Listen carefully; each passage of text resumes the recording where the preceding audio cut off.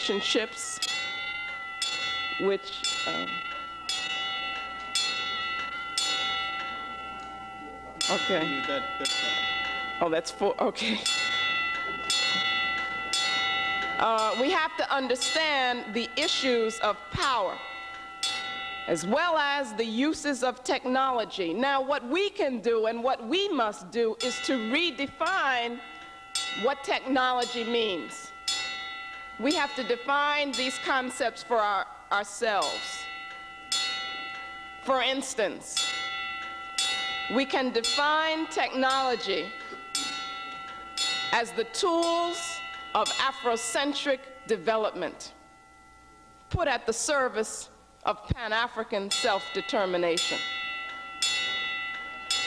We have to develop an African psychology that is to look at how the minds of our children work so that we can best teach them and work with them, teach them how to think critically, how to ask questions, how to analyze. Educational and training institutions and programs can be set up immediately by us, which teach our children practical skills. And then, of course, we need economic programs so that we can have buildings in which to house these institutions, so that we can have conferences in our own um, major buildings that we have for that. There are so many lectures and lecture series, wonderful ones, that are given throughout this city. I don't know how it is for um, you who come from other cities. Um, but we don't have our own buildings in which those lectures take place. And there are enough of us to get together and have a building. Okay? One of the things that we can all do in terms of education is that we can immediately begin organizing after-school programs. Um, organizing schools um, is something that we need to do. That takes more time, takes more resources. After school programs can build towards those and we can do them immediately, right now, when people leave this room. All you have to do is to get together with maybe three or four other people who um, share your commitments and have children. Get those children together and you begin developing a program. That's what we did. And we've had a program now, it's going into its third year. And I would simply like it to be a model for others so that other people can see that, that um, it's very easy to do. All it takes is commitment. And then through all of this, we need to develop some, some standardized um, uh, curricula material that can be uh, dispersed throughout the African uh, community in this nation and throughout the world. And there, again, are enough of us doing this kind of work that, that we can uh, think in terms of um, standardizing things and getting them in record form. Uh, finally, we need to pull these two aspects together the practical and uh, the spiritual, the esoteric and the exoteric. Um, both are extremely important. Um, but we cannot have one without the other. The esoteric, spiritual, and the holistic must go hand in hand with the exoteric, the practical, and what has been called the academic in, um, in European culture. Um, for us, the base will always have to be the sacred, will always have to be the spiritual, because it is from there um, that we get meaning, and that we get our commitments to, and our values. And it is from there that we get our direction. Um, so this is something that I think we can both learn from African civilization and that we can just use and begin to build. Thank you very much.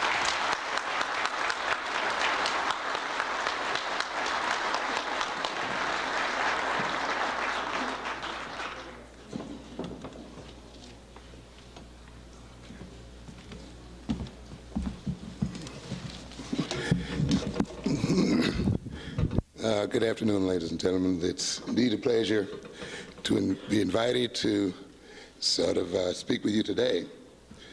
I want, uh, again, take up much of your time. I want pretend to be an expert on uh, Egyptian education and uh, Nile Valley education, since my interest is more contemporary. So I'll just sort of briefly outline some of the information I've been able to glean about the, the education of the Egyptian bar in particular.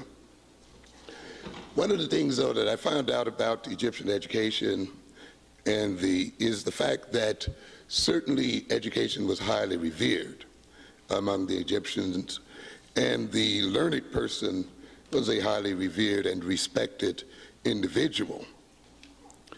Learning then had a major place, a, a central place in Egyptian life. So where and whenever you uh, come upon Egyptian literature, you find an enthusiastic reference for learning. And many of the journals and diaries of various persons uh, during this period of time refer to education. One such as a nobleman who was carrying his son to a school on the Nile, who admonished him to give thy heart to learning and love her like a mother. For there is nothing that is so precious as learning.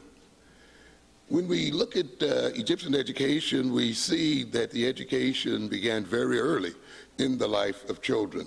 The boys began their education uh, at around age four. And uh, that education continued for about 10 to 12 years.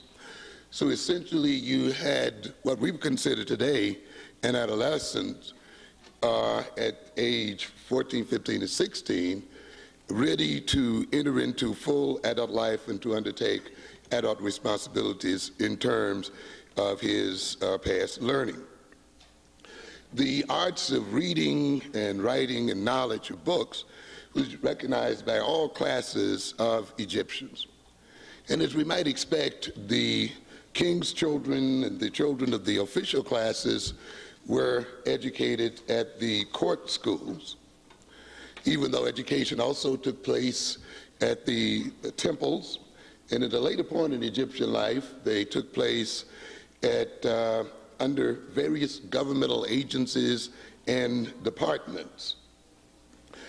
Because, of course, we must recognize that Egyptian society was a very complex one, and therefore education took place in many areas of Egyptian life, some of it being more specified than others. The high officials of the government were in part responsible for the education of the youngsters, as well as, of course, the priests and others we would expect to be involved in education. You had a type of corporate education as well, where the the young man was educated by an official who ran a particular department, but also was a worker for that official. So you, you got sort of a double type of education, a type of cooperative education, where the student learned a, the formal um, curriculum, but also learned by doing. It was involved in the practical workings of the system and of the department under which he was being educated. The education also took place under what we call the schoolmaster. And this education was very strict and severe. In fact, it's a type of education that many of us have come to repudiate to a certain degree because corporal punishment was not forbidden and was used quite uh, liberally. The uh, student sat at the master's feet, and the schoolmaster had what we call today virtually absolute power and authority when dealing with the student. The student began school very early in the morning and worked until noonday or for long hours. The penalty for not paying attention, the penalties for being lazy were quite severe. And you can, in looking at some of the proverbs, you can recognize that the, many of these schoolmasters did not hesitate to execute discipline. One of the standard statements was, a boy's ears are in his backside, and he listens or obeys when he is beaten. But of course, um, another uh, major part of the discipline of disciplining of the boy was not merely that of corporal punishment, but that of what we call admonishments, proverbs, where the student was constantly admonished with proverbs and sayings uh, to, of course, do his best to strive for excellence.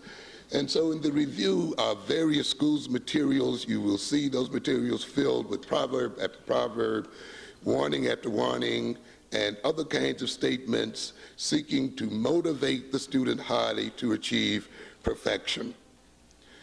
Education was not something merely given to the noble uh, people or the sons of noble people, but also people of what we may call the lower classes, who many of whom went to school with the sons of princes. So there was a mixing of classes, particularly in the school for scribes. So then we can see an interest in the basic uh, elements of, of education, reading, writing, and so forth, going down not only in terms of the noble classes, but in terms of the working classes themselves. In terms of what was learned, we pretty much see in general outline that what was learned during the educational period of the Egyptian boy was pretty much what's being learned today reading, writing, and arithmetic to a good extent. A great deal of emphasis was put on the learning of the hieroglyphics, and a great deal of emphasis was put on copying materials, copying from books, and of course, copying the uh, proverbs and saying of elders and revered ancients. A good deal of emphasis was put on, of course, words and vocabulary. The attitudes of the boys were um, stimulated as well, particularly in terms of being industrious and active. Much of the material that the student copied was material from his own schoolmaster, and much of that material was material that was written in the form of advice, in forms of rebukes and exhortations to work toward excellence and to work with all their might there was a very high reverence for words among the Egyptians, and of course, the student was taught to revere words. In fact, the words were often referred to as divine words. The, the words were seen as the invention of the god Thoth, who was very much the patron god of writing, period. This revering of the word, of course, we see present in African cultures after Egypt right on down to the present day. I was sort of um, impressed to see reference made to the word in Muntu, as I believe it was Jahn who talked about the word and its importance to African culture and society. All magic, he states, is word magic, incantation and ex- exorcism blessing and curse. Through nommo, that is the word, man establishes his mastery over things. Everything comes into being through the word. And of course, we are reminded of this in the familiar testament that reads, First there was the word, and the word was with God, and the word was God. And of course, we are reminded of the creation story, which sees creation taking place in terms of the word. This idea then of the word as a creative force, as a transforming force, has been a part of African culture up to the present day. The word, Jahn says, itself is force. The word holds the course of things and train and changes and transforms them. Nommo, the word, creates images upon images and transforms them. In what I think is a very remarkable book, The Pedagogy of the Oppressed, we see again Paulo Freire talking about the word, in one instance stating, to speak a true word is to transform the world. And of course, we see in the teachings of Jesus the statement again about words and about truth and the truth being that which frees men from bondage. Freire says to exist humanly is to name the world, to change the world. Beside the study of words, of course, was the study of math, the study of geometry, because, of course, as we're all familiar with, this was very necessary for the building of Egyptian society for the measuring of land and various other types of activities that were very necessary to the functioning of Egyptian society. Let's look for a moment briefly at um, what this education was used for.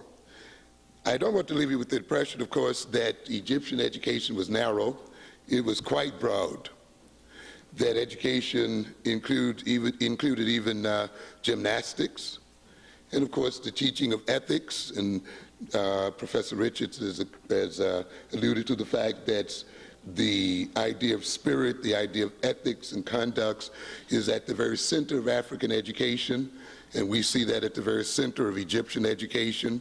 Practical philosophy was also a part of the education of the Egyptian child. That is, philosophy, not just in its um, abstract sense, but philosophy in terms of conducting oneself.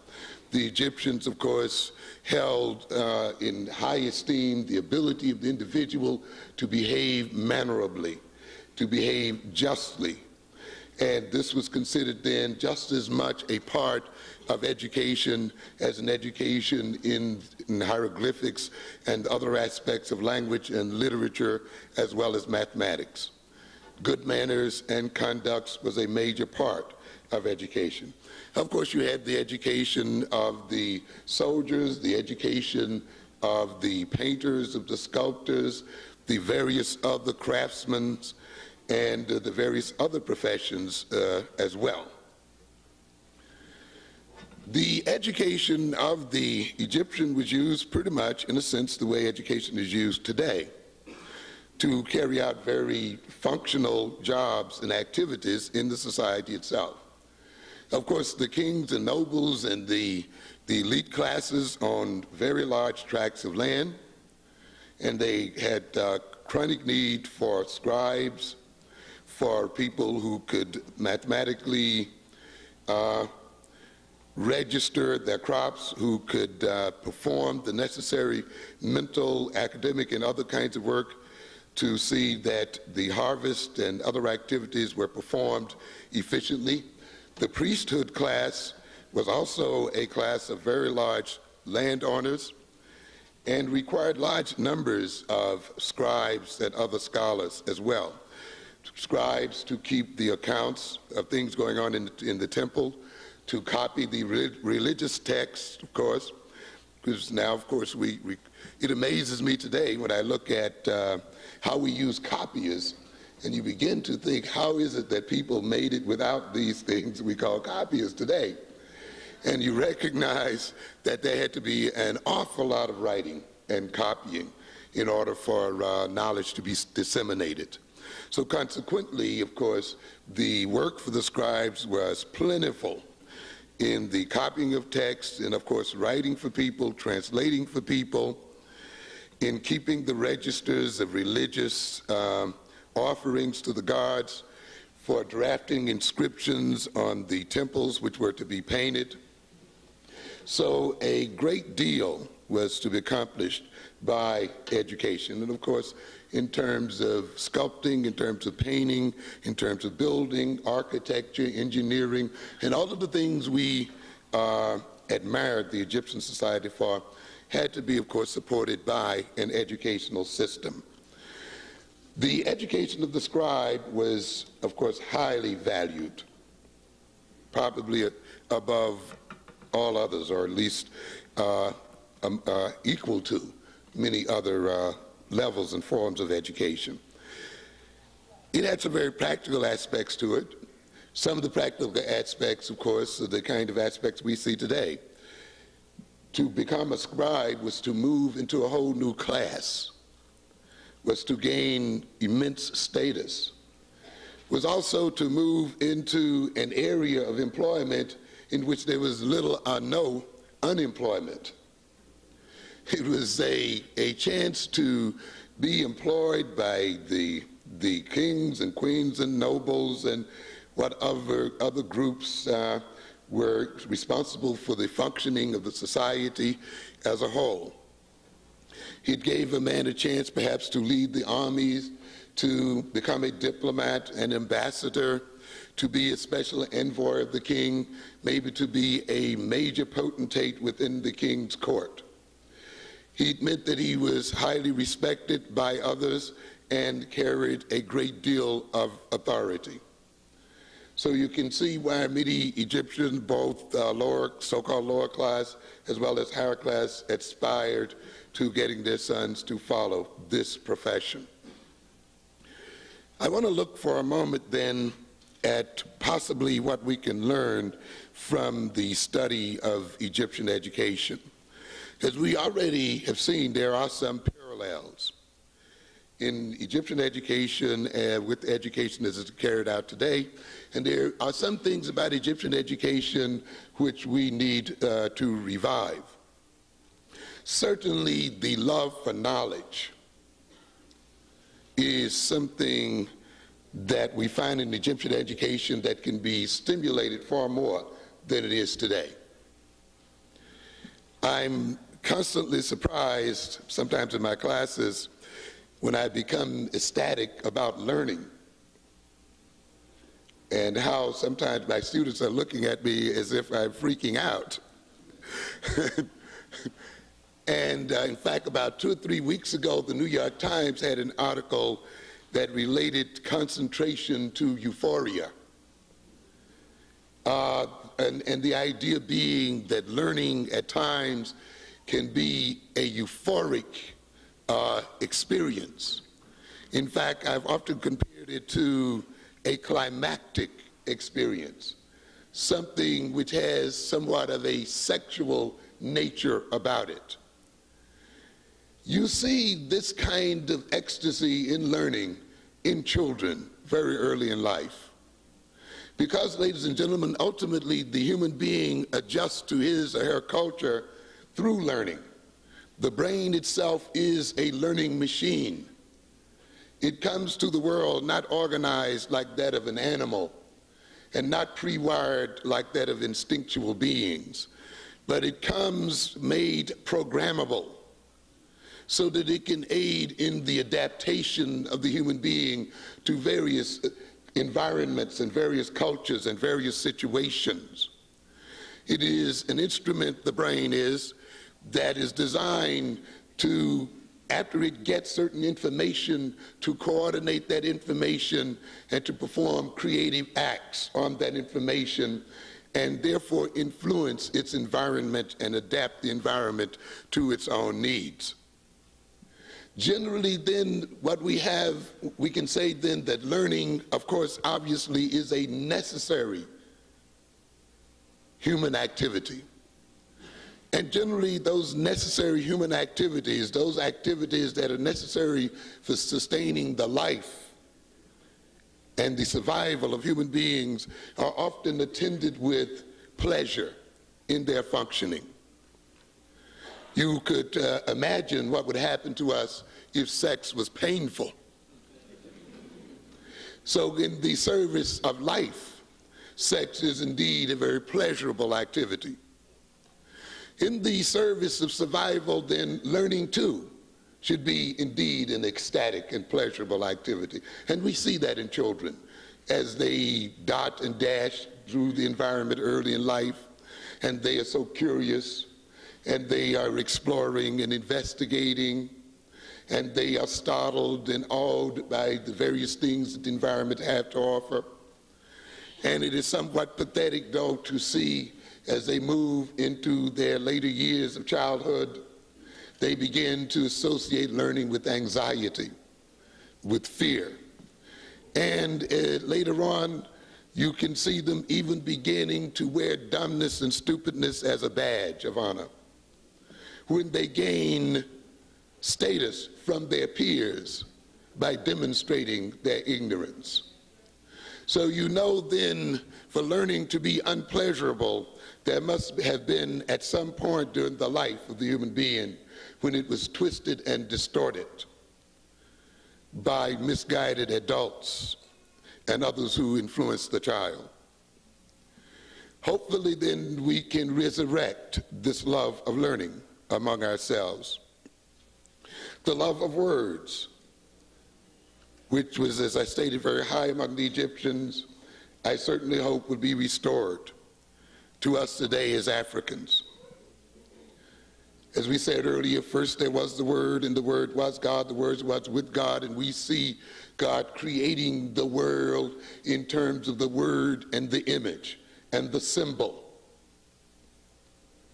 We are in this building today, and we must know that the first act of the creation of this building was the bringing forth of an image in somebody's mind, a thought, an idea followed again by a whole set of words and negotiations, and again by a whole set of figures and symbols on paper. And then it was out of this use of words and symbols that we have this organized structure that we're in today. No buildings that we see are the result of random activity. They are the result of the use of the word and of imaging. And for a people to build and construct and to transform the world and to transform the society, for a people to transform themselves, they must have the word. One of the major problems with the African today is that he has no control of the word. We are complaining today about the fact that the word has been put into the hands of another people. And those words being put into the hands of another people have been used to destroy our self image, our self confidence, have been used to destroy our mind, have been used as vehicle in which to introject the inferiority complex into our very personalities today. We will not gain control of ourselves nor control of the world until we gain control of the word and the control of the image. The word is divine, the word is magic, and we will not be able to perform that magic until the word becomes ours again. One of the major functions of the black professional is to gain control of the word and to gain control of definition. One of the things that have noted that I've noted as being one of the constants that has remained with us since we've dealt with the European, no matter how many changes we've gone through, no matter what you say about integrated living and all of this other stuff we call progress today, is that the European has not relinquished his control of the word and has not relinquished his control of information. The control of information is the first step that one must achieve when one wants to brainwash another and wants to create the mind of another. The words that a parent says to a child helps to create the personality of that child.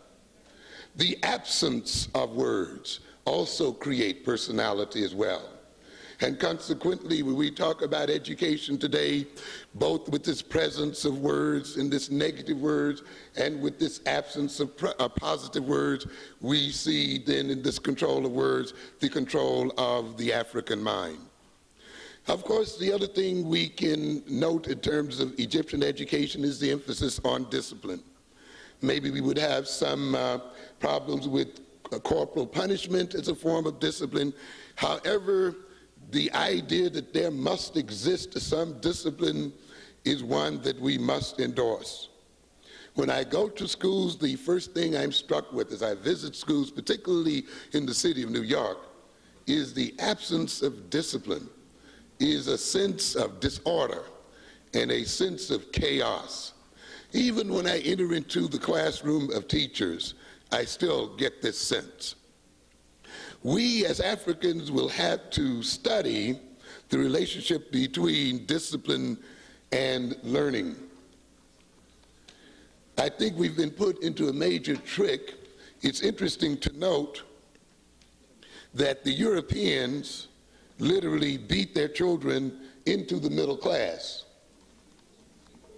And then once they beat them into the middle class and created a tradition around them, corporal punishment became unlawful. And now it is scientific to approach them in various other ways.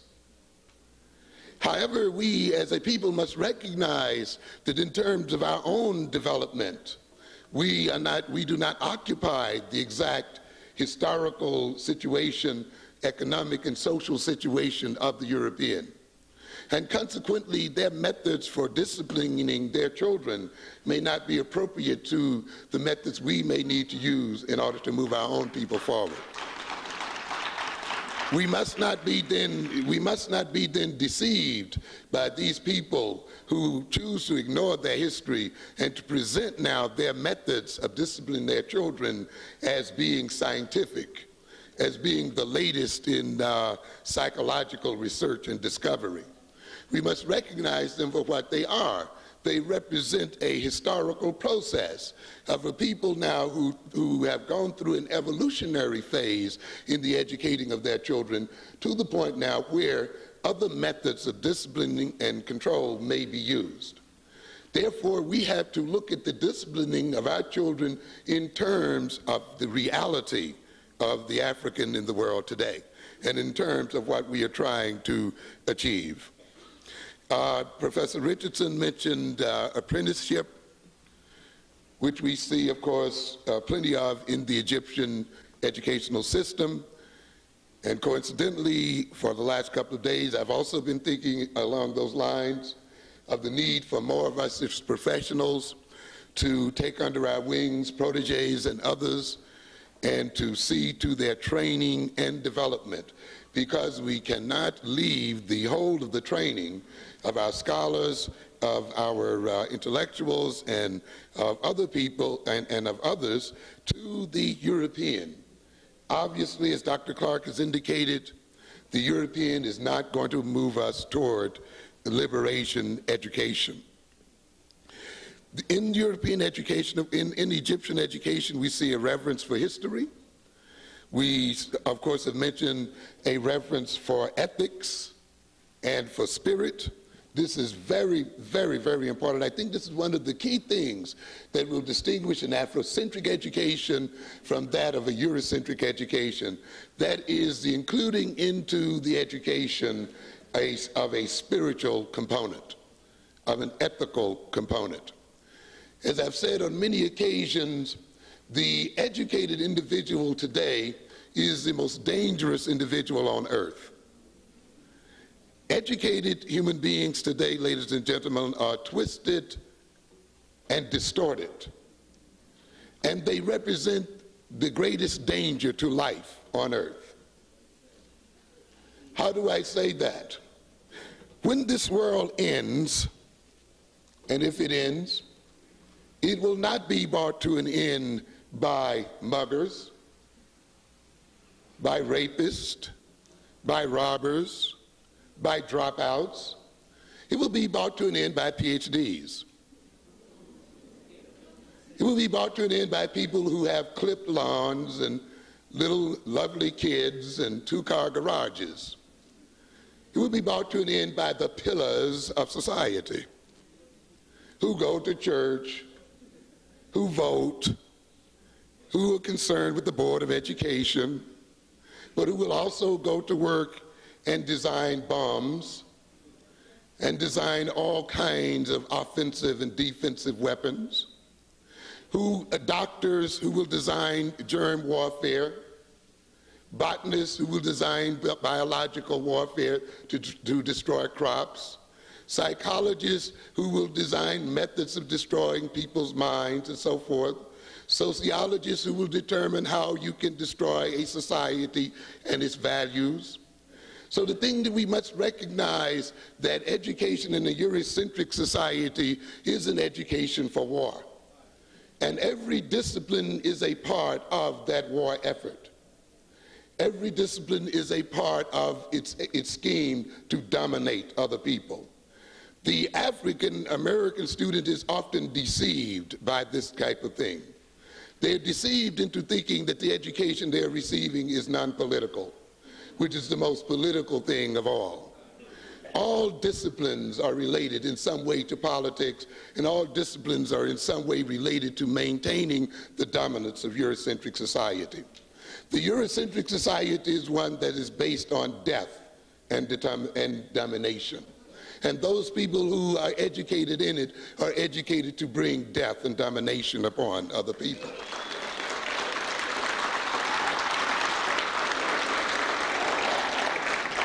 Therefore, the educated individual who feels he's educated and his education gives him a right to rob and steal from the average man and the lesser educated man and he thinks by spending 10 or 20 years in school, he's justified in robbing the people of every last dime they have. And, and, and so therefore you can see even our uh, medical doctors and so forth often then have in them still that germ of rape and robbery that is a part of Eurocentric education.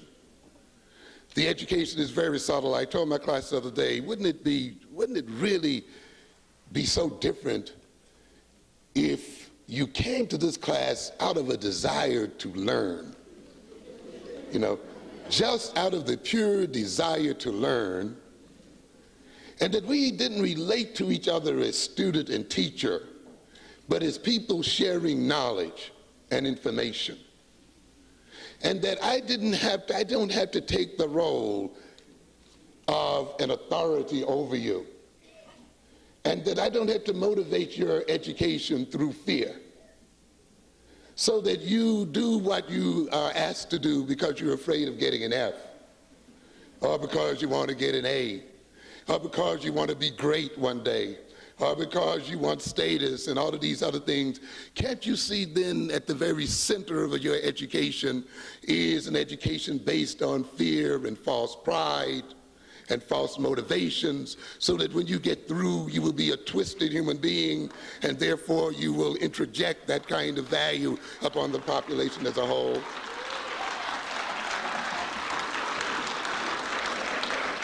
So this is why we have the paradox of the educated European not becoming civilized, but more uncivilized.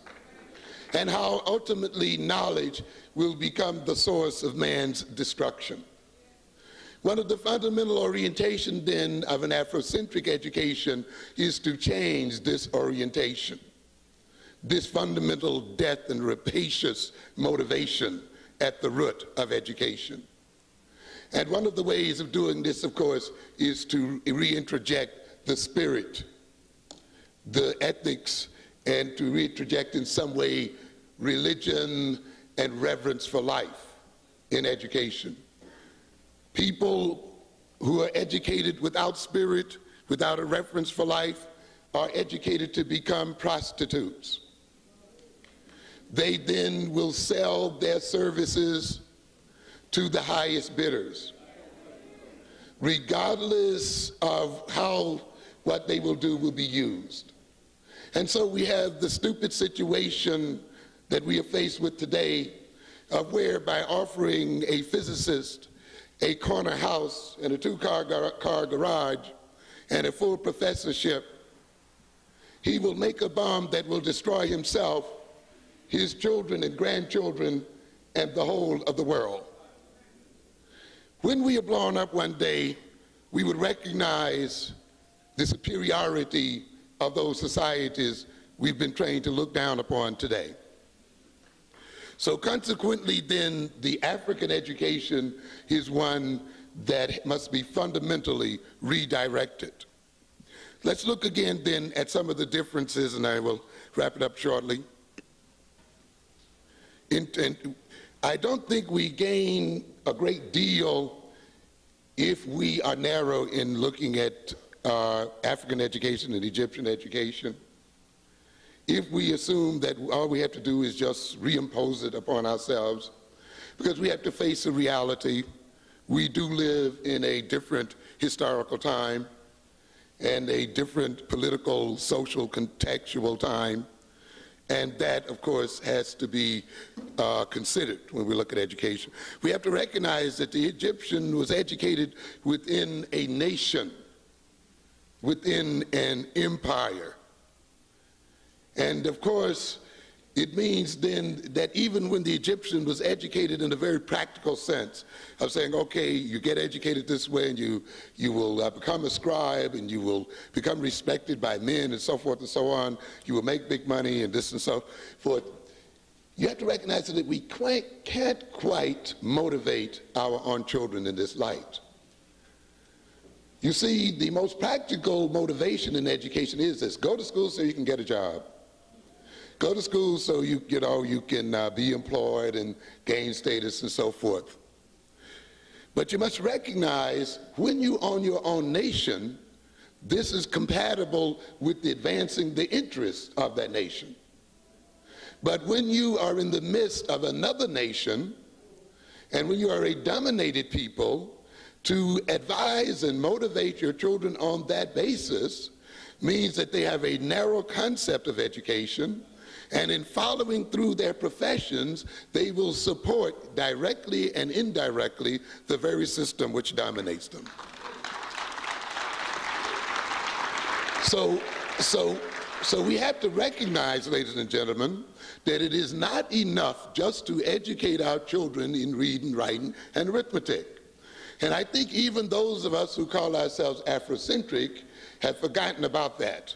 We think that it is enough merely to train our children in Afrocentric thoughts and orientations. However, to train them in Afrocentric thoughts and orientation in mathematics and science without also preparing a nation for them is filled with problems. And often it means then that you will educate a very, maybe a very brilliant mathematician who has Afrocentric ideas, but who in the end still must work for IBM and AT&T and the rest. And he'll find himself frustrated and upset, but in order to earn his bread, he's got to work for the enemy. So consequently, then, a part of education, ladies and gentlemen, is the building of a nation and the building of institutions so that we can hire those ones we educate. So, so that in working to fulfill their own uh, needs and desires, even though those needs may be somewhat selfish, they are still working to advance the interests of the nation. You can educate your children into scientific thinking and mathematical thinking all you wish. Unless you have an economy, it will come to nothing. Because today, ladies and gentlemen, doing a, an advanced project in, in uh, research project in physics costs millions and millions of dollars. If you're going to build a cyclotron, for instance, you may have to build that cyclotron filled with heavy magnets and heavy uses of electricity for five or six or 12 miles around. This requires tremendous investments of money and time. Consequently, it means if the African society is to advance to any great degree, the African society must develop its economy so that it can support scientific and other forms of research. Otherwise, we are just sort of uh, uh, making pipe dreams. We must recognize, too, that the Egyptian is being educated under the influence of autonomy. That is, Egypt is an autonomous nation and an empire. We must recognize today, though, that our education takes place under domination. And this, I think, uh, means a fundamental difference in direction of education of the current African is against the Egyptian. To a good extent, a great deal of Egyptian education was conservative, maintaining a great and glorious nation and history and past. as well, of course, as maintaining their survival. But in our situation, ladies and gentlemen, we are not dealing in, in, in an autonomous con context. We are operating in a context of domination, which means I think that our, our fundamental thrust, or at least the fundamental thrust of African education today, should be revolutionary. It should be an education geared toward the overthrow of those people who dominate us.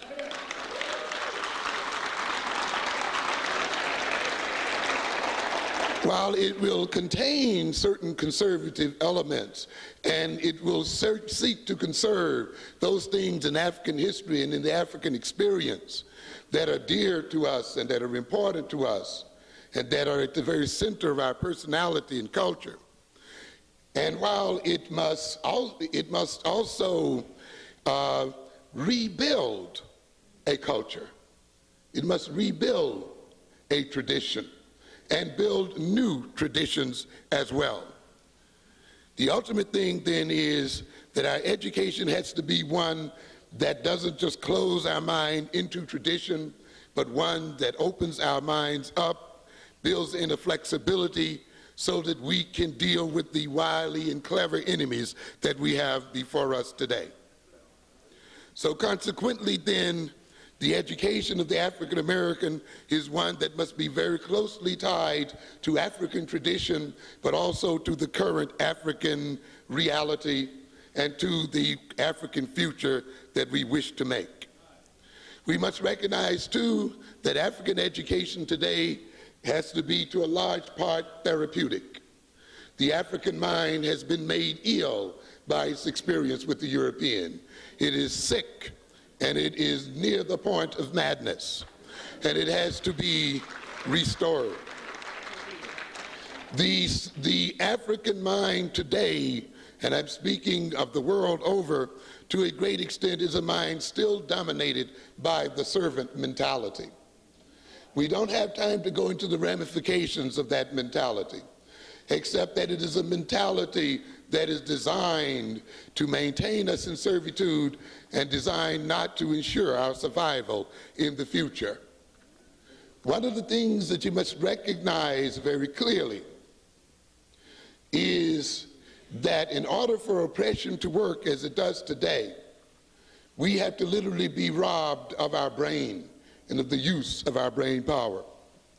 One of the major things that we have to be robbed of is our ability to think and to think critically. I hold that ability above almost all the others. In fact, to create almost a sacrilege, I hold it as high as the knowledge of Afrocentric history. Because to me, a people who have a free mind and a critical mind will, by their very use of logic, come to know the value of being Afrocentric. We don't want our people to learn to be Afrocentric by the way of jingoisms and by the way of tight traditions. We want them to arrive at their Afrocentrism through the use of their free and great African minds. Thank you very much.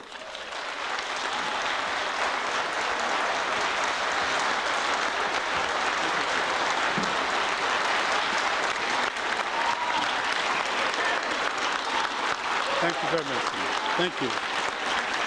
Thank you very much.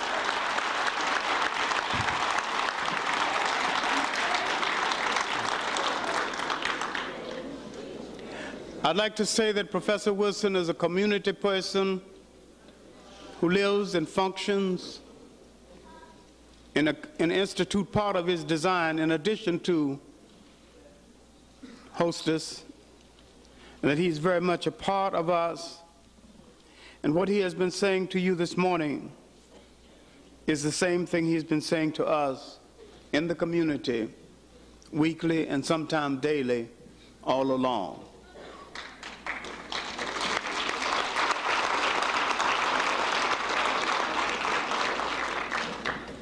I want to deal very briefly with what Professor Richard said then Professor Wilson, then we're going to go to questions, uh, and we're not going to have that much time.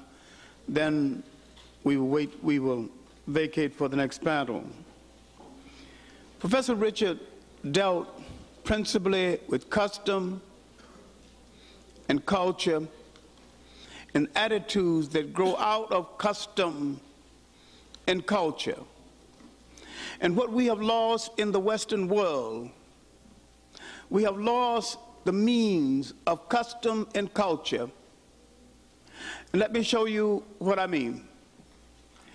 Now, we maintain through memory so much that was African in us. And I had to go to Africa to understand this. There was a, there was a custom in the South after a death that the family, someone comes from the community, and the ladies help to take everything out of the house and clean the house. That custom was consistent, even to the point where there was a stale old joke when someone comes into a house that's in disarray. They say, why don't somebody die in this house so the community can come and clean it up? All right, no. When I went to Africa,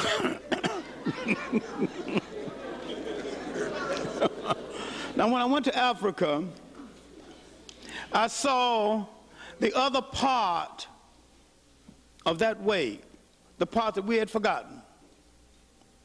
I saw when the deceased, the widow of the deceased, begins to cry, and she never cries until the official announcement is made of her husband's death, no matter how much she feels, until the elder of the family have announced the death, he is not officially dead, although she knows physically he's dead.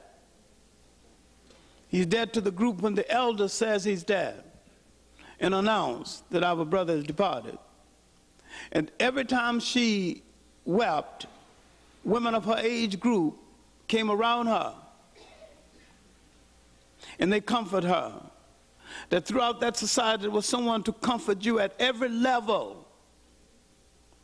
And when we danced out, and I say we because I got into the dance.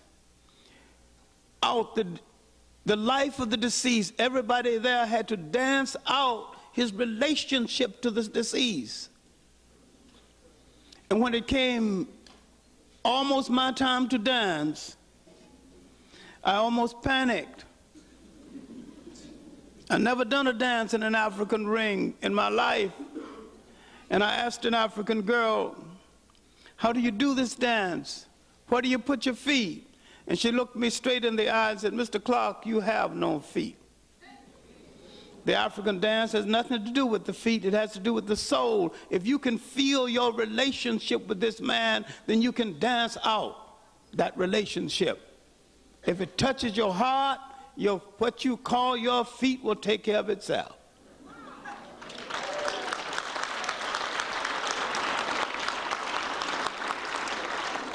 Once I could understand how I related to the deceased, the morning meetings we had, he was a bus driver, how he always brought his son to the morning meetings to hear me speak English, didn't know that my English is less than perfect. And how we saw him to the door of the family compound as he went over, went to in town to drive the buses and how we read the evening papers and the morning papers together and discussed the affairs of the world. Once I knew and felt my relationship to the deceased, I got in, in the dance ring and did something well I'd never done in my life. I danced exceptionally well. now, the important thing is that once the widow comes back, there's a ceremony when the whole community gives her the assurance that the community is going to take care of her. And when the men give her new shoes and they're singing, as long as there's shoes among your people, you'll have shoes. The women have disposed of all the clothes she wore when her husband was alive. And symbol of the new life, the women have made her a new wardrobe. And the women are singing, as long as there's clothes among your people, you'll have clothes. Then they make a big banquet. And she is to taste all of the food before anyone else eats while they're singing. As long as there's food among your people, you'll have food. Then I said, These are the people here in the slums of Accra who's supposed in Ghana who's supposed to be primitive. This is civilization. This is social security built into a culture. This is high culture. And this is what I mean by the preservation of custom in culture. And this is the first thing the European tries to take away from you. He laughs at your gods. Then he teaches you to laugh at your gods. Then he does not have to build massive prisoners because once you laugh at your gods and turn your back on the culture that produced you, you are a prisoner, you are a slave.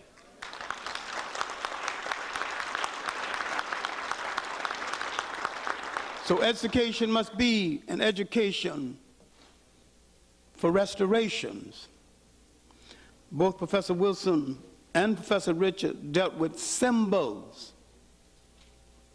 And so long as we are not in control of symbols, it was the search for symbols that led me into the field of history, looking in the Sunday school lesson and not finding my people at all. Even in Africa, I couldn't find them. I see people going to the land of Punt, that's present day Somaliland, and they got white. I see an African named Moses going down to Ethiopia where he married Zipporah. Zipporah got white and he got white. The Bible gives him one Ethiopian wife, my research gives him three. Let us say that he developed a taste for chocolate very early. But once you understand the nature of symbols and what it's supposed to do with your mind, once you begin to deal with the education and the restoration of images of yourself, then you're on your way. Then, then you will have to deal with the prevailing symbol. You will have to get rid of the blonde, blue eyed Jesus in your churches. Until you do that, you will not give the Father the proper respect. And you will not know what we were doing at different parts, at different times in our history. Now, if you look at the time span of the color purple and look at the true history of black people, we were doing a whole lot of things we were moving out of the South. We were resettling the whole march from Kansas. And once the Kansas River overflowed and Kansas got too bad, they marched out of Kansas and someone walked into Oklahoma. It was a period of Pap Singleton and his group. It was a period of early Pan Africanism. We're doing a whole lot of things other than, and there may have been someone engaged in incest. But remember, throughout our total history, incest has been an act punishable by death.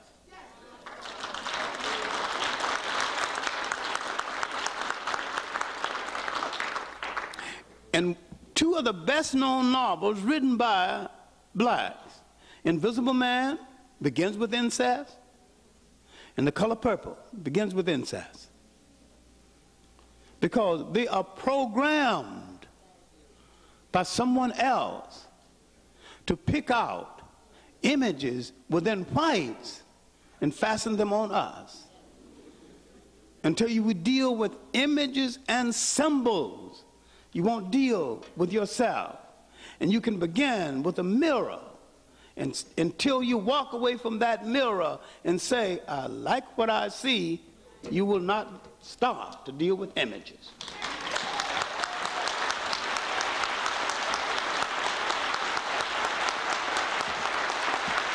Professor Jeffries has an announcement. Then we'll go into the questions.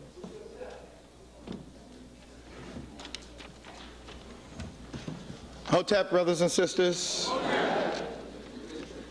Certainly a beautiful thing to see all of you here at this uh, institution. This is one of those institutions that uh, Professor Wilson was talking about. If you have a degree from one of these institutions, like Columbia University and the rest, you got, you're in trouble. And if you're teaching there, you're in trouble. A whole lot of things. We'll go into that as we get into the conference. We do want to go into some bookkeeping and other things that we have to uh, make sure we take care of, um, and mechanics. I don't want to lose the flow of the, of the panel. Um, we will finish this panel and move right into the next panel with a short break in between. Then we will have a break for dinner. Um, there are restaurants in the neighborhood that are available. There will be food vendors that are available. Um, we wish you to come back in the, uh, not straight too far, they have Reliables, Copelands, Wilsons within easy distance. Come back for the presidential address and also the activities after that in which Professor Clarke will be featured. So that uh, gear yourself in terms of your time um, because this is a special happening and um, a special occasion.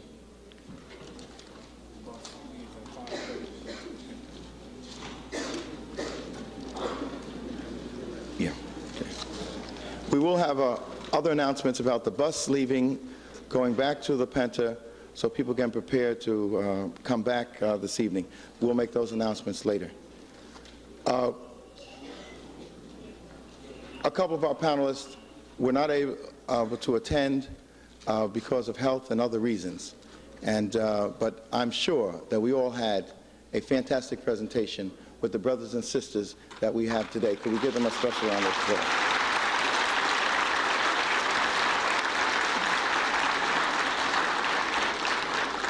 We've described the question and answer period as the African community response. So we expect to hear from you, John. I don't have to repeat Dr. Ben's instructions about a question supposed to be a question and not a dissertation. Someone down there will have to recognize the hands for me because in this glare, I may not be able to see the hands very well. Let's come straight to the questions, make them short and right. And let's start right now. We have approximately 10 minutes, maybe a little less, when we have to vacate for the next panel and the brief break before the new panel. Professor Wilson, you can address your question to Professor Wilson or myself because the panel consists of practically two right now except Professor Jeffries who's administratively moving around taking care of business. Yes.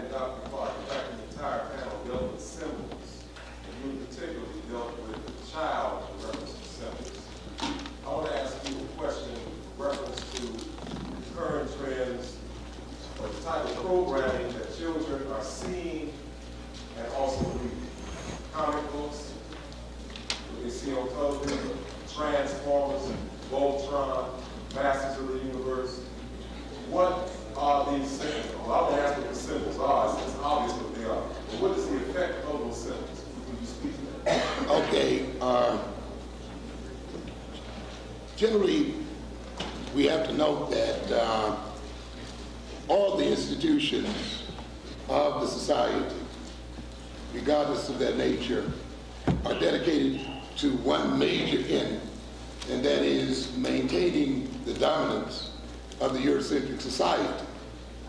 And of course, the media is one of the major institutions. So there's good reason for us to expect it to function and perform in any way different from the others. As a matter of fact, it, uh, the media are a central institution for the creation of the Afrocentric personality.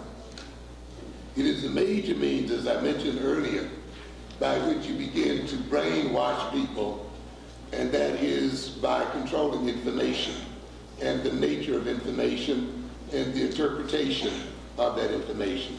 And so it is obvious that the information that we see in the media, whether it's cartoons, uh, soap operas, or what have you, ultimately are going to be presented in such a way as to maintain the status quo, that is the power relationship between our people.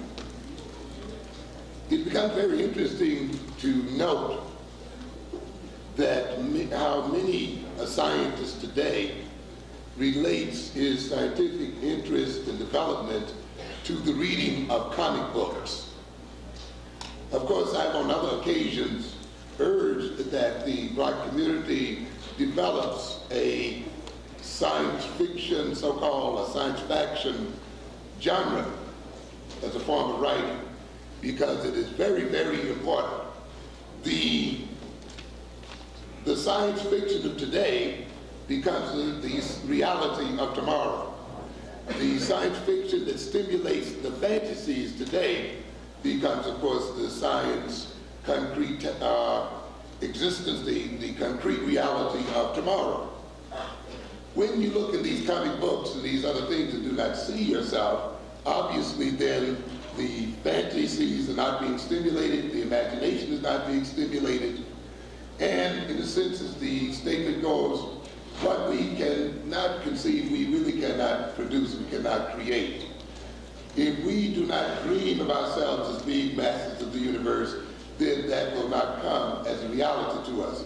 And these dreams begin in cartoons and fairy tales and in other uh, materials that to children.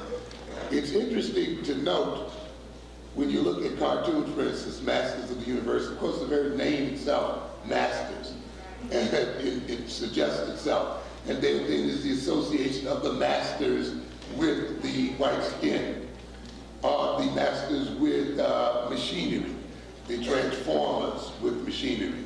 Hero, of course, being a white man, She-Ra being a white woman, and so forth. So you get this constant association of mastery with whiteness. You also, and even though you get an association between good and bad, generally those people who are going to master the world, whether good or bad, are whites in one way or the others. Of course, the black characters, if they're included at all, are recruited as secondary characters and achieve their power through the delegation of their power from their white masters.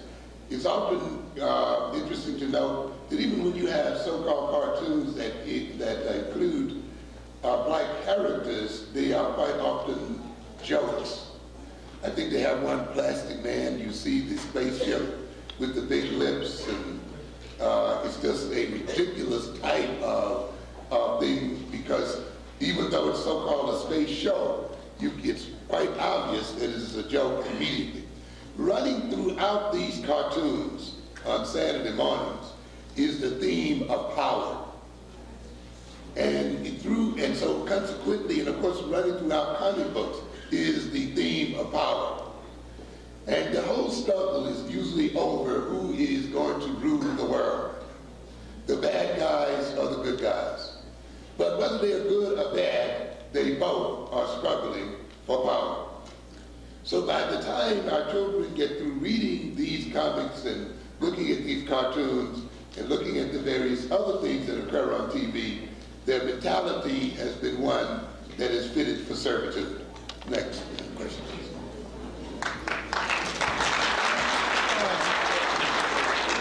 For the next question, uh, if you can hear me, for the next question, look at the symbol on TV why is the black character in Diff'rent Strokes a and why is the one in Webster a rump? They never wish to show you full grown or full blown. And this is something else we have to fully deal with. All right, next question, please. My name is Babu from the Brooklyn region. Question directed to William Wilson. Uh, you mentioned critical thinking uh, in the commented in your presentation and how essential it would be for us to reconstruct this African view of things and also the whole duration. Now, I know you're doing some work in the area of, of black scientific psychology, and could you please just give us some input in, in terms of that, that critical thinking into projecting something for us? Okay, uh, as I indicated earlier, and of course, uh, Freire talks about this as well, but I think any anytime you really looked very closely at the psychology of domination, you see that one of the major things it must remove is the ability to think critically and analytically, to the, the kind of thinking that weighs and measures and evaluates and relates and organizes and so forth. The major function of the servant, and that is the function as far as the European is concerned of our people, that is that of service to their own interests. It really doesn't matter how so-called well educated we become, how, how long we stay in school. The central plan of the European is that we perform a service in terms of their interest. So ultimately, our education, no matter what its length, is ultimately an education towards servitism. Essentially, the function of the servant then is not how to think, but what to think. His function, his function essentially is one of carrying out orders. And therefore, the kind of mentality he should best develop is one that depends to a great deal upon memory and rote kinds of learning. It is a kind of mentality that is built to remember and learn in terms of expediency in order to carry out a particular function and thereafter to forget the order. And we see that often in the way many of our people learn today. Uh, we learn for credits, we learn to qualify for a job, we learn to sort of uh, prepare to, to get a particular position, but often the learning has little intrinsic value or it uh, gives us little intrinsic pleasure. Often I have to, to uh, upbraid my students about the way they even read text. Literally, they focus right on the sentence that they're reading without connecting it to the sentence they read before, and without anticipating the sentence to come, without also holding in the back of their minds the framework in which the sentence they're reading is occurring, and in a sense relating on various levels what they're reading with past, present, and future experiences and events. Essentially, the sentence is read uh, in, with a kind of mentality that focuses upon the immediate present and upon carrying out the activities of the immediate present. So consequently, even the education sometimes of people who we respect as being highly educated is the education of a parrot. Literally the education of where they have, where they are repeating what they have been told to repeat, where they literally then are echoing their teachers and have come to value what they're saying merely because their teachers have told them that it is valuable. In order for us to be transformed as a people, to be made into a subordinate group of people, the first thing that has to be removed from us is our capacity to think critically, which involves asking questions, which involves what we call in psychology reality testing. That is checking what is being stated against reality, evaluating it, looking at its logical consequences and conclusions. You must be put in a state of mind where you accept what is said on the basis of authority, on the basis of the authority of the speaker. So then the paternalistic relationship, which adheres in colonialistic organization, the paternalistic relationship that uh, was present on the plantation, the, plan- the paternalistic relationship that is present today in the world is a relationship that creates the white man as the authority, as the arbiter of truth, as the source of knowledge, and consequently then it reduces our ability to critically look at what he has to say. We accept what he has to say on, on, uh, on his authority without thought, and we act upon it, and of course we act upon it in his interest. The world in no way, and this includes not only the black world, but also the white world, in no way could be the way it is if even 20% of the people in it could think critically. It is dependent on lies and on the belief of those lies, even lies like private property. The concept of private property, which we won't go into today, but a very interesting kind of lie. The lower class, in believing the upper class, supports that upper class because they are robbed of their critical skills. I'll, I'll end it here, even though I could talk quite a bit about this. Look, thanks. I'll stop here. Our time is about running out. We're going to take two more questions, and we are obliged to, to, to stop. I would like to talk all evening, the same as you, and I would like to listen too. Yes, ma'am. Speak a little louder, please. Rita Swan, Dutchess County. Uh, I would ask Dr. Wilson, uh, he mentioned the purpose of education should be revolutionary. Uh, I'm wondering, revolutionary what? The Intervention state, a separate state, or a migratory posture? Well, of course, uh, I want I want you to write a prescription for the revolution. Okay, of course, because one part about revolution is that revolution and the goal of revolution should be something, as Freire says too, that is derived from dialogue, from the people dialoguing with each other from an analysis of reality, an analysis of our situation, and then working that through. And one of the things uh, he notes, which I subscribe to, is that we have to be very careful, those of us who are in so-called positions of leadership or influence, or whatever you want to call it, in the way we relate to our people, in that we don't want to come with them with prescriptions already laid out, because in a sense, through this kind of approach, we tend to bring on the kind of approach that already exists as a part of the master-slave relationship.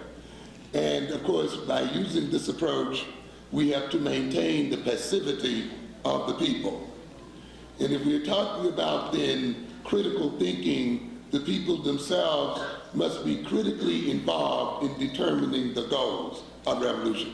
So the thing that I'm, getting at then is this, that the revolution and the goals of the revolution will be whatever African people, after an objective, Afrocentric determination and cultural analysis, will determine that they will be.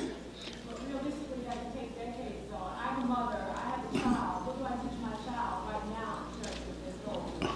The, the major thing, I think, uh, in terms of the immediate situation, is to strive for, as I've urged earlier, the teaching of that child to, to, of course, to perceive the world clearly and realistically, and to give it the abilities and the skills by which it can perform a realistic analysis of that world and, and, and oriented toward basing its activities and behavior on reality itself, which of course then involves what we call these cognitive skills uh, training, the reasoning skills training, the very basic ones, the, of course, the use of the word itself, sharpening its observational abilities and its abilities to, to uh, project in terms of planning and organizing and its ability to see relations between causes and effects.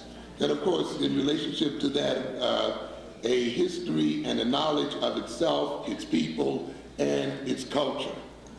And I think with this basic arming of the child, it will then, of course, arrive at the kinds of behaviors and knowledge that will secure its survival and its coping in the current world today. I'd like to say that because we misunderstand the word revolution, we even think the American Revolution was a revolution and it was not. We think the Re- French Revolution was a revolution and it was not. We've got to first understand what a revolution means. It means complete change. And we cannot have a revolution imitating other people. The Africans, when in charge of their own destiny, had many revolutions.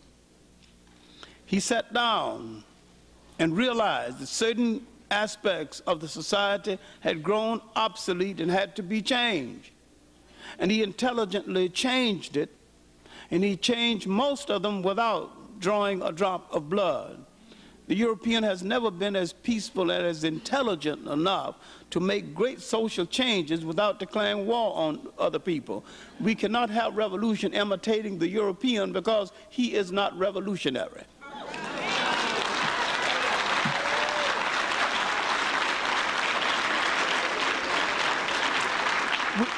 We'll have the, we'll have the last question, and I purposely tried to avoid mentioning cause something another, because you have two kinds of Marxists among blacks. You have the Groucho Marxists and the Karl Marxists. and I'm always running into the Grouchos. and I'm trying to avoid that today. We'll take the last question, please. yes, sir.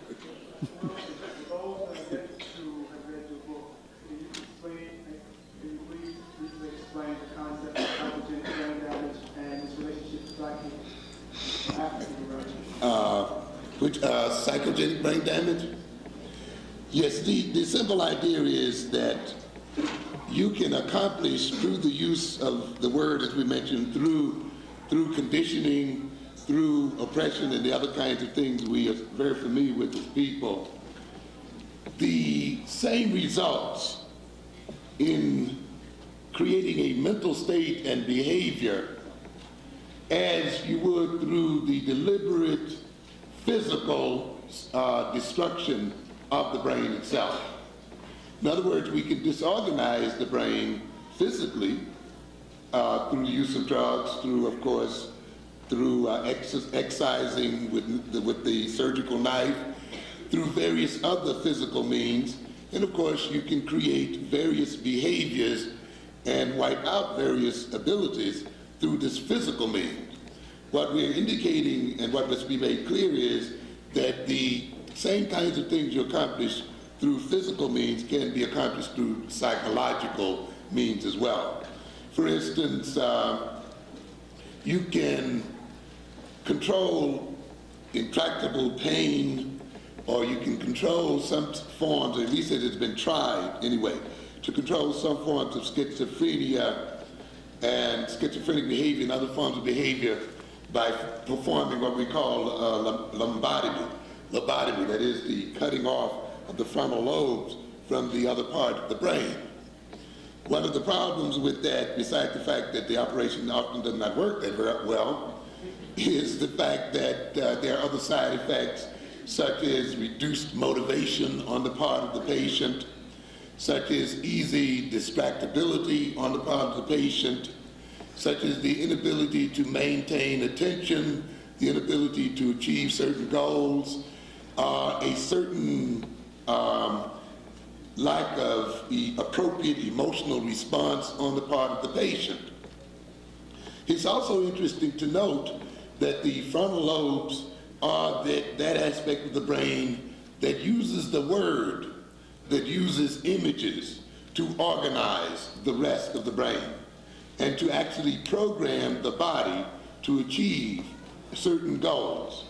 So when a command is given to the frontal lobes, the frontal lobes translate that command into body behavior, into attentional behavior, into setting goals, into testing behavior, so that once the goal is set, the frontal lobe programs the eyes and the senses to be sensitive to various things that are necessary to the accomplishing of that goal, calling up previous information and correlating as such.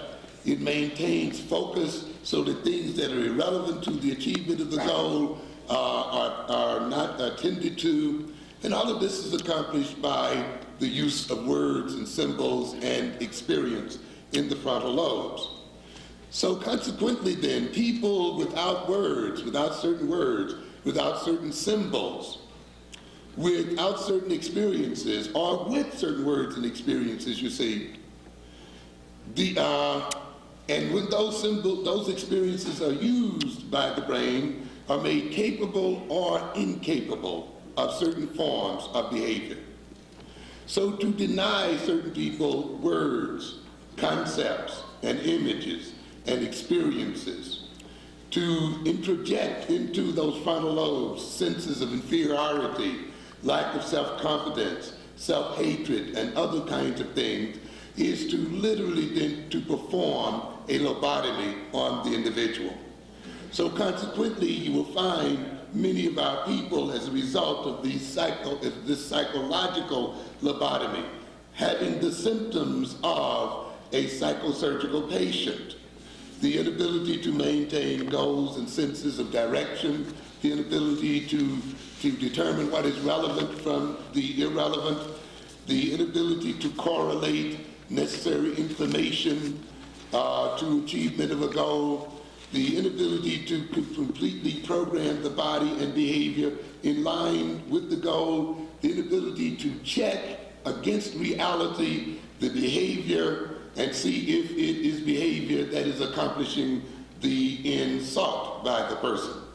Of course, then the rewriting of history by the European, the, the scandalization of the African personality, the introduction into the African of self-doubt about his abilities, the whole system of paternalism, which takes away from the African the responsibility for his future, is a part of this psychological psychosurgery.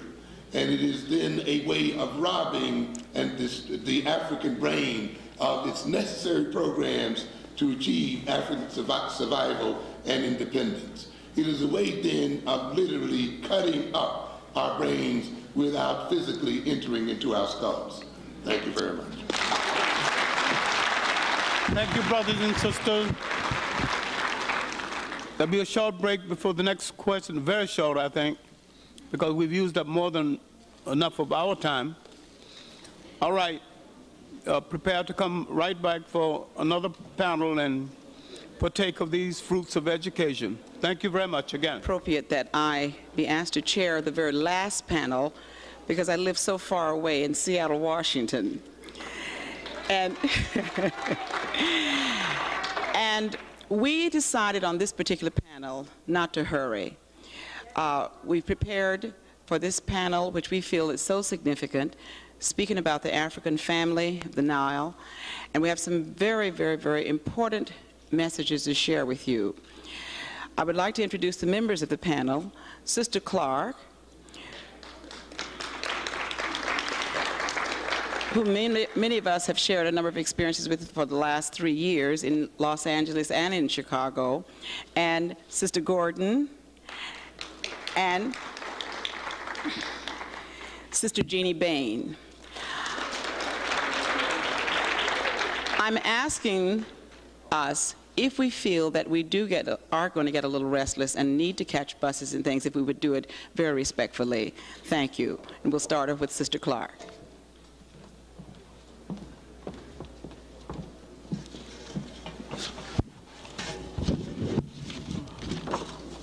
Hotep. Uh, Sister Mims and members of the panel, brothers and sisters, I'd like to talk with you on the traditional African family as foundation of the African worldview and African development. And the purpose of this paper will be one, describe how the traditional African family function as foundation of our ancestors' worldview and of African development.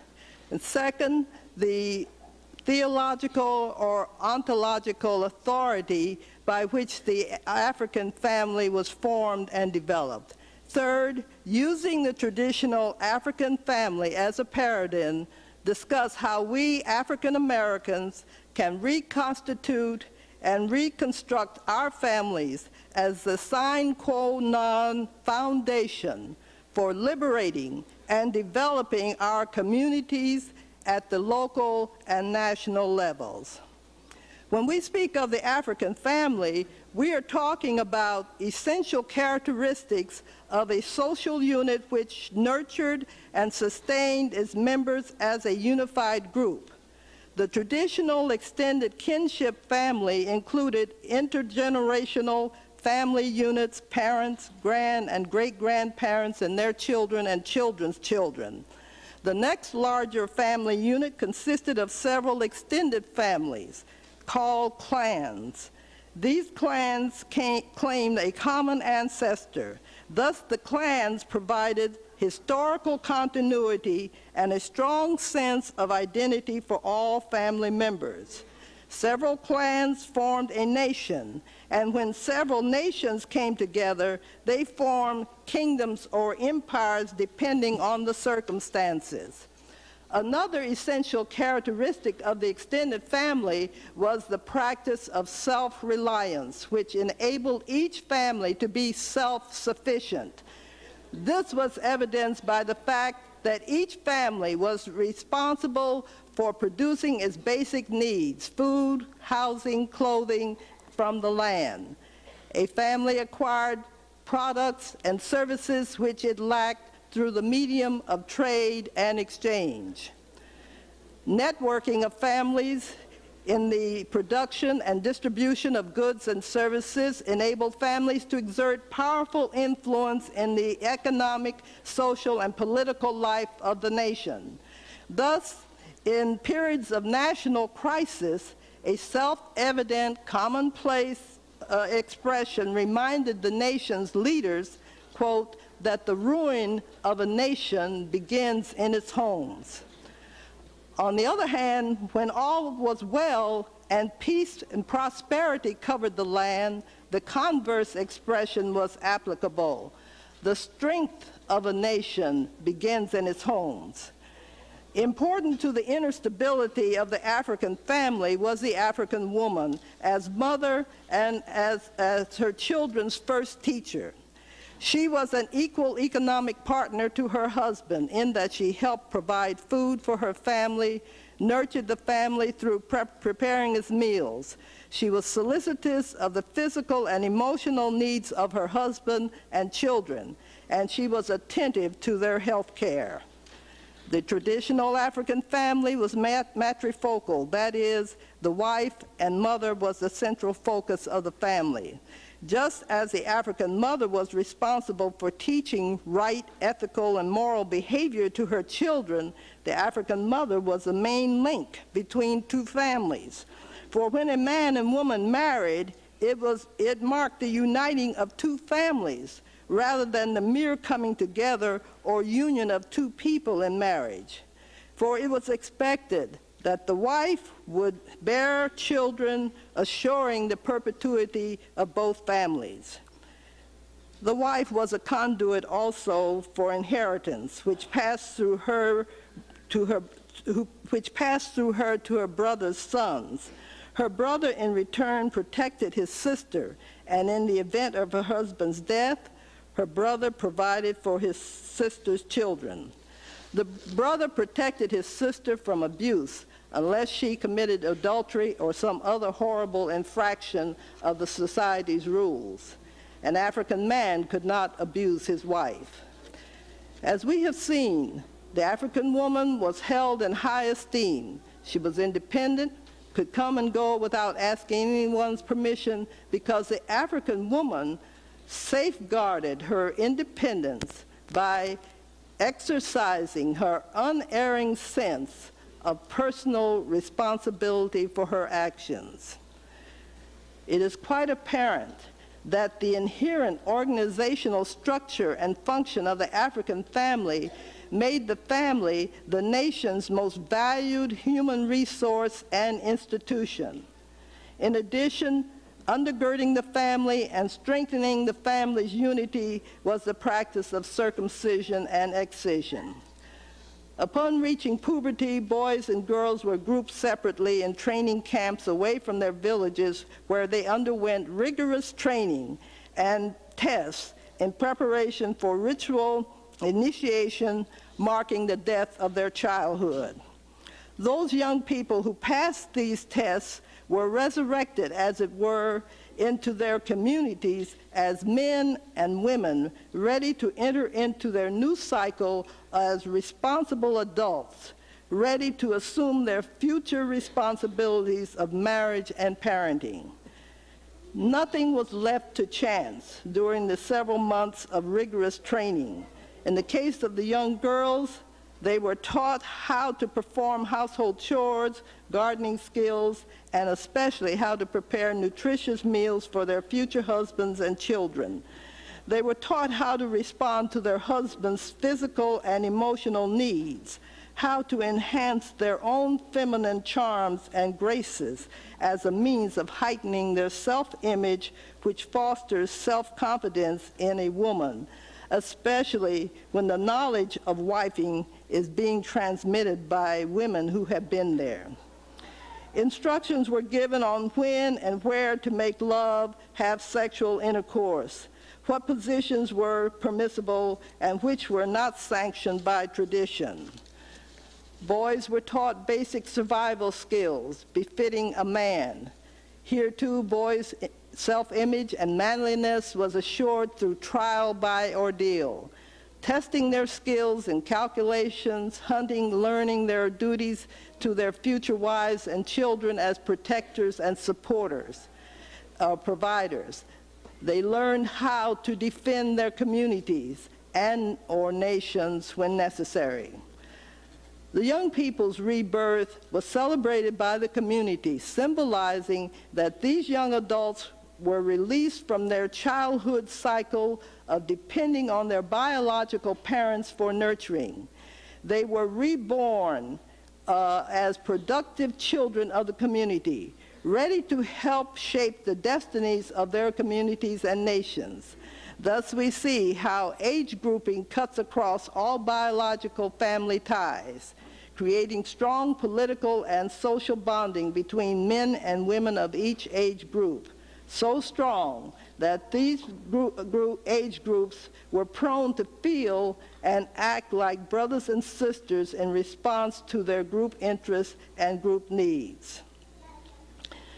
We may ask how Africans throughout the continent concurred on the idea of structuring a matrilinear family system which embraced the practice of circumcision and excision.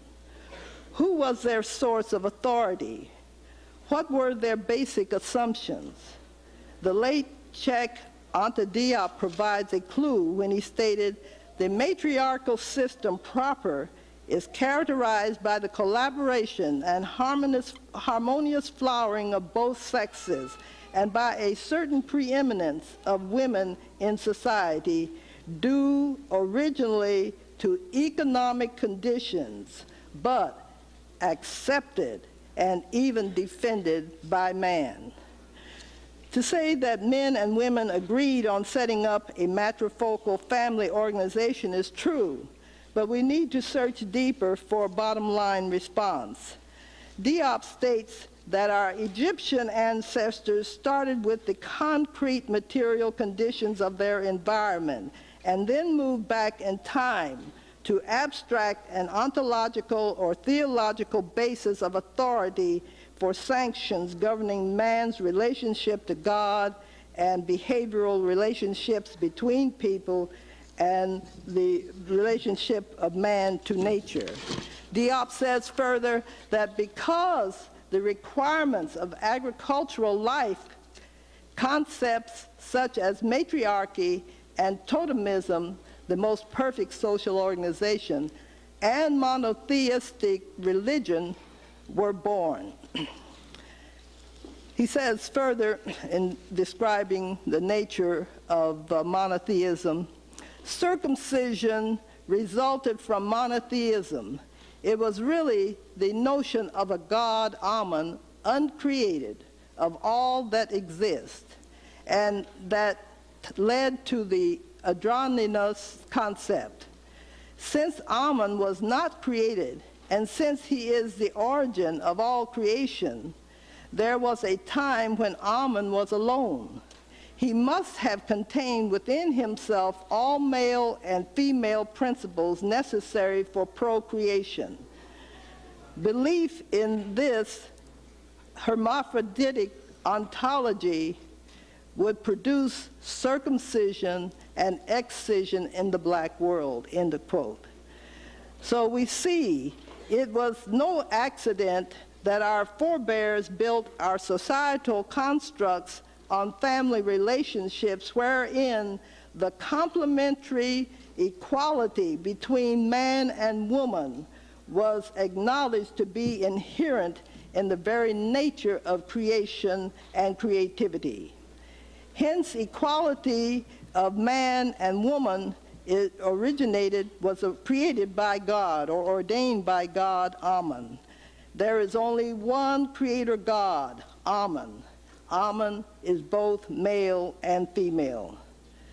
Therefore, circumcision of the male prepuce, excision of the female clitoris is sanctioned by our ancestors' perception of the androgynous nature of the one and only creator God.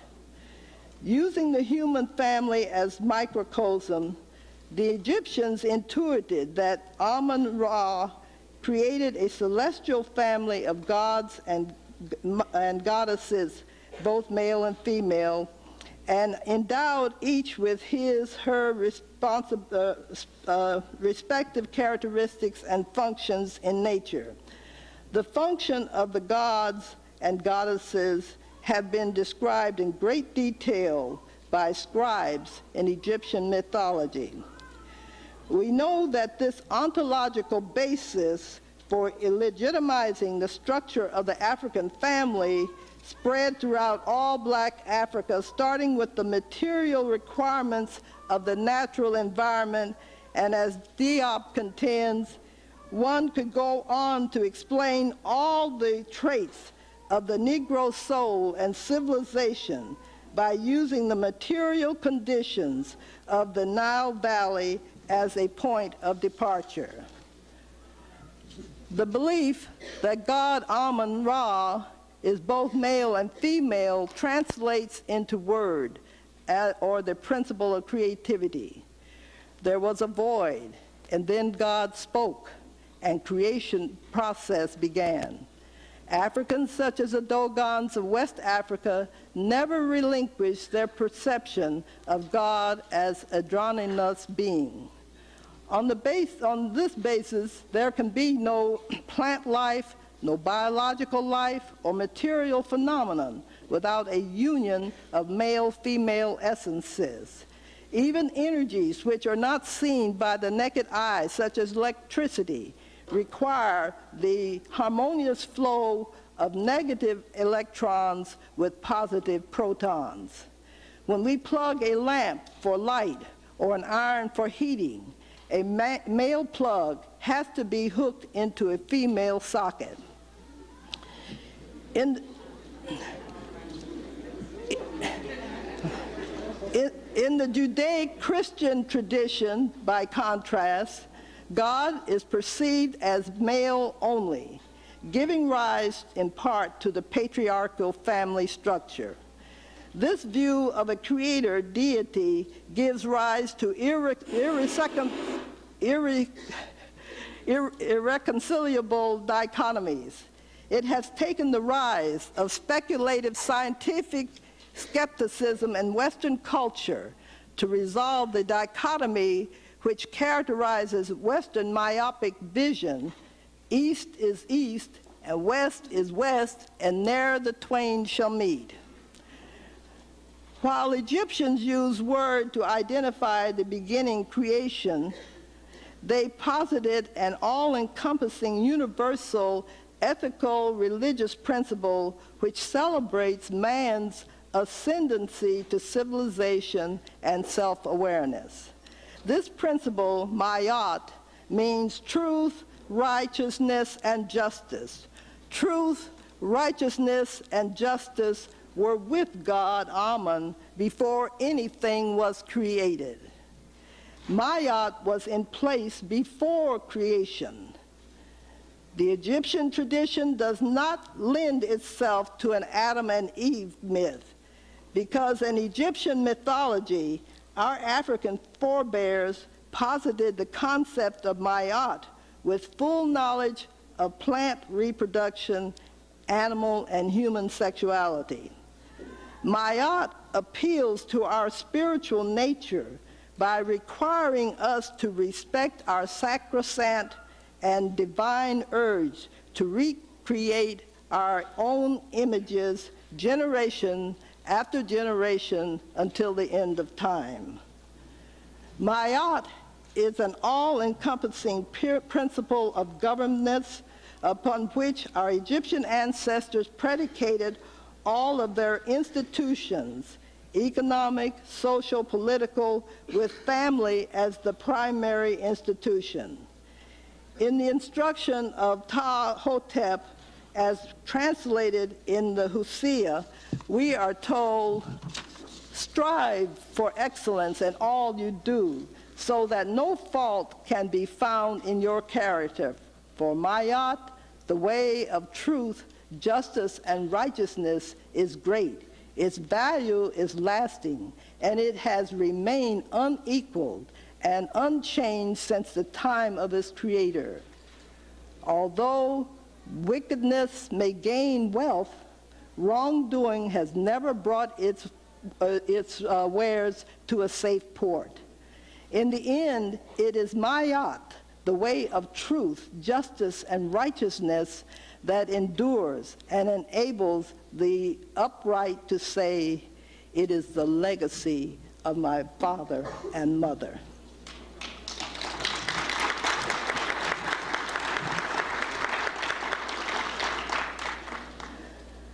Early symptoms of the breakdown of order and balance, that is Mayat, in the collective life of the people occurs in the nation's homes. When Egypt underwent a severe social crisis in the, uh, in the first uh, intermediary period, Ipuwer complained, as recorded in the Husia, Lo, what the ancestors foretold has come to pass. The land is full of bandits and evildoers, and the plowman goes to plow with his shield. Lo, the land turns like a potter's wheel. The robbers have become rich, and the honorable person a thief. The foreigners from without have come to Egypt, and the Egyptian of yesterday cannot be found anywhere. The great and small say, I wish I were dead and little children say, He should not have caused me to live. And the unrestrained say, If I knew where God is, I would serve him. Today, following close on the heels of white America, the African American family is in just such a crisis as described in the book of Ipuwer. Our men and women are becoming strangers to each other. Too many of our children are begetting children without any prior knowledge or understanding of the responsibilities incumbent upon them in homemaking and parenting.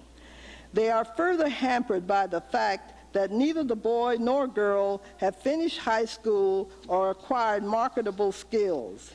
The generational pattern of children raising themselves in the street give us pause, for our future is dimmed by our increasing numbers of youth who are dispirited and frustrated with no hope. However, it is in times of crisis that we have our greatest opportunity to turn our conditions around. When people despair to the point where they cry out in anguish, if I knew where God is, I would serve him. In all of our beginnings, whether in West Africa, Central, South, or East Africa, our ancestors examined and used the material conditions of their environment as the basis for building institutions beginning with the family. To rescue and reconstruct our African American family demands of us return to our African work ethic, namely, organize our human resources in such a manner that we work consciously for ourselves as an African community. Take, for example, the economic factor.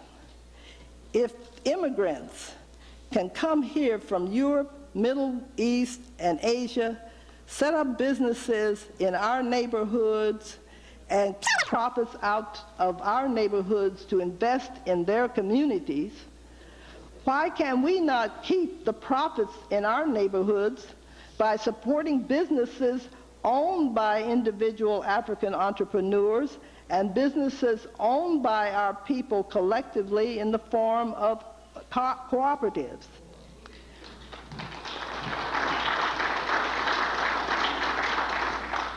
Such a turnaround would provide the means to train and employ a number of our youth whose survival is dependent solely upon their street smarts. Sisters and brothers, we must re-examine our individual and collective lives through continuous study of our beginnings and implement the lessons we learned from our beginnings, starting with the first beginning, namely creation.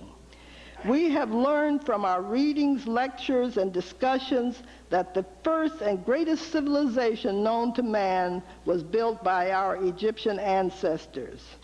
Our studies further inform us that the creation principle or the principle of creativity as intuited by our Egyptian ancestors became the cornerstone upon which the first and greatest civilization known to man was founded.